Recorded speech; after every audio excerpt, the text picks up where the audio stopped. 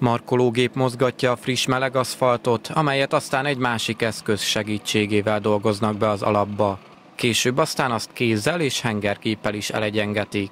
Így épül a kerékpárút Nyírgyulajban, amire már hosszú ideje nagy szüksége volt a településnek. 2013 óta jelentősen megnövekedett itt a kamionforgalom, akkor készült ugyanis el az M3-as autópálya levezető csomópontja néhány kilométerrel távolabb. Azóta több baleset is történt a községben, valamint a Nyírbátorba vezető szakaszon. Ott már elkészült a kerékpárút, Nyírgyulaj belterületén most épül. A kerékpárút építésének kettős célja van. Egyrésztről hivatásforgalom, a nyírgyulai lakosok részére, hogy Nyírbátorba el tudjanak biztonságosan jutni a munkahelyeikre, másrészt természetesen turisztikai célokat is szolgál, hiszen a környéken már több kerékpárút is megépült.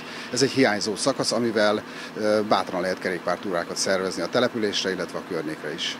Simó Miklós, a térség országgyűlési képviselője azt mondta, az idén véget érő Európai Uniós fejlesztési ciklusban számos kerékpárút épült vagy épül jelen pillanatban. A politikus kifejtette, eddig 3,6 milliárdot fordítottak erre a célra választókörzetében. Azt tervezik, hogy egy teljes turisztikai kerékpáros körútvonalat hoznak létre. Több mint 10 eh, helyen épült kerékpárút, és most pedig remény van arra, hogy mind a 10 helyen be is fejeződik a kerékpárút építése, Újfehértó, Nagykáló, Nyírbátor, Nyírbogát, Kálósemjén, Nyírgyulaj, Balkány, Biri, úgyhogy sorolhatnám a településeinket. Hála Istennek a polgármestereink, önkormányzataink komolyan vették és építettek kerékpárutakat, a nagy közönség pedig szívesen használja.